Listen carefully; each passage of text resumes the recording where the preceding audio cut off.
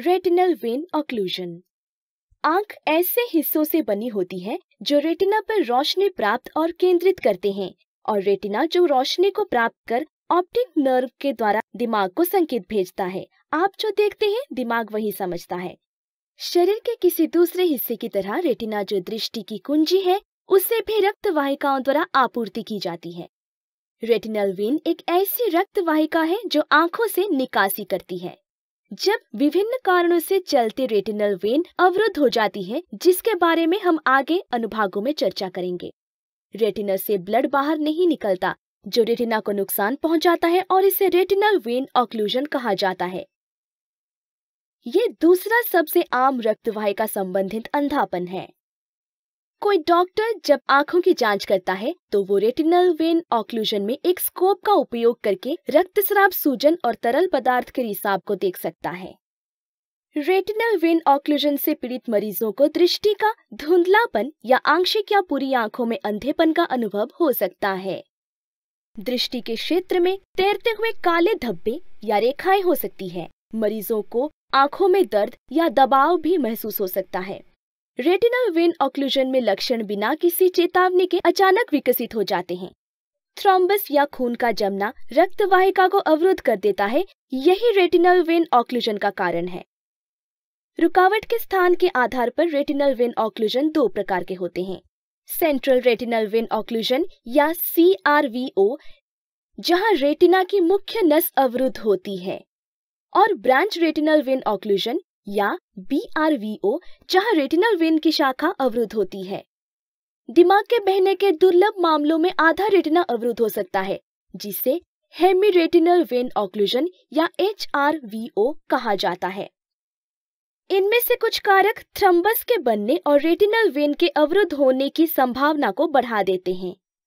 धूम्रपान, अधिक वज़न या मोटापा, वृद्धावस्था, रक्त वाहिकाओं का सख्त होना ग्लोकोमा, लिम्फोमा, एक प्रकार का ट्यूमर, रक्त की एक अवस्था जिसे ल्यूकेमिया कहा जाता है, एक स्थिति जिसे मल्टीपल मायोलोमा कहा जाता है और आँख में चोट लगना।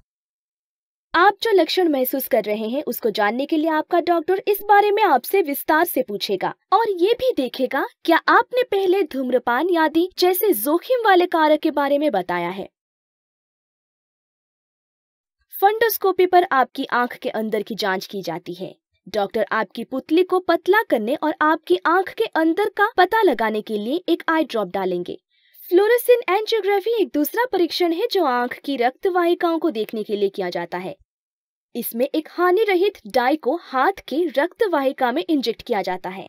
डाई रेटिना की रक्त वाहिकाओं से जाती है, फिर एक उपकरण रेटिना की छवि को कैप्चर करता है, जिसमें डॉक्टर देखते हैं कि आखिर रेटिना में कोई द्रव रिसाव है या नहीं। कुछ मरीजों में ऑप्टिकल कोहेरेंस टोमोग्राफी नामक एक परीक्षण की ज़रूरत हो सकती है। इस परीक्षण में पुतलियों को एक आई ड्रॉप का उपयोग कर फैलाया जाता है।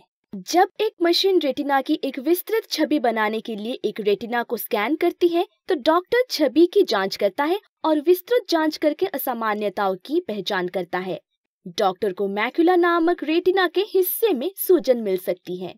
अवरुद्ध रक्तवाहिकाओं रक्तवाहिकाओं का रिसाव नई रक्त वाहिकाएँ और रेटिना में खून बहना। जोखिम वाले कारक से बचना और स्वस्थ जीवन शैली बनाए रखना रेटिनल वेन ऑक्लूजन की दिशा में पहला कदम है। अगर रेटिनल वेन ऑक्लूजन पहले ही हो चुका है, निवारक उपाय और बिगड़ने से कम करने में मदद कर सकता है, जटिलताओं का बढ़ना और दूसरी आँख में इस स्थिति का बढ़ना। अगर आप धूम्रपान करते हैं तो धूम्रपान करना बंद कर दें और किसी और तरीके के धूम्रपान से भी बचें। रक्तचाप ब्लड शुगर और कोलेस्ट्रॉल के स्तर को सख्त नियंत्रण में रखें। यदि आप ग्लोकोमा से पीड़ित हैं तो अपने नेत्र रोग विशेषज्ञों द्वारा सुझाए गए उपचार का पालन करते हुए इसे नियंत्रण में रखें। यदि आप में पहले से ही रेटिनल वेव ऑक्लूजन विकसित हो चुका है डॉक्टर की सलाह का सख्ती से पालन करें ताकि आप इसे दूसरी आँख में होने से रोक सकें। शरीर के लिए जो भी स्वस्थ है, वो आँखों के लिए भी स्वस्थ है। आपकी आँखों के स्वास्थ्य के लिए स्वस्थ भोजन और नियमित व्यायाम आवश्यक है।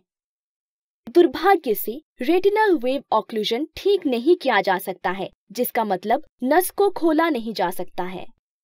हालाँकि उपचार से जटिलताओं से बचा जा सकता है और नुकसान को कम किया जा सकता है।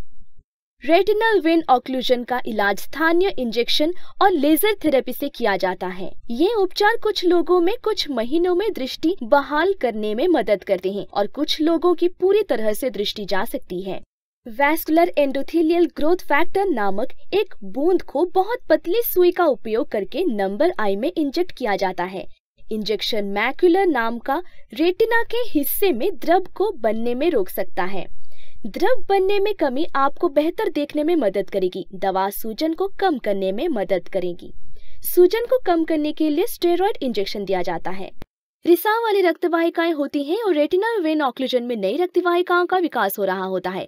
हमारे रक्तवाहिकाओं को आगे नुकसान से बचने के लिए लेजर का उपयोग करके जलाया दिया जाता है। दुर्भाग्य से रेटिनल वेन ऑक्लूजन कोई चेतावनी या फिर लक्षणों के साथ नहीं आता है, बल्कि अचानक हमला करता है। इसके अलावा, रेटिनल वेन ऑक्लूजन के लिए कोई इलाज नहीं है, लेकिन पहले से हो चुके नुकसान को नियंत्रित किया जा सकता है। जोखिम कारकों को नियंत्रित करना और स्वस्थ जीवन शैली का पालन करना बहुत महत्वपूर्ण है। आखिर, लेकिन सबसे ज़रूरी बात, आँखों की किसी भी समस्या से बचने के लिए नियमित रूप से आँखों की जाँच ज़रूरी है। नियमित आँखों की जाँच ज़रूरी है, खासकर अगर आप में जोखिम कारक है, जो आँखों को नुकसान पहुँचा सकते हैं। जैसे कि धूम्रपान कोलेस्ट्रॉल मधुमेह और उच्च रक्तचाप। राइजुमैब के निर्माताओं की ओर से इंटास द्वारा जनहित में जारी।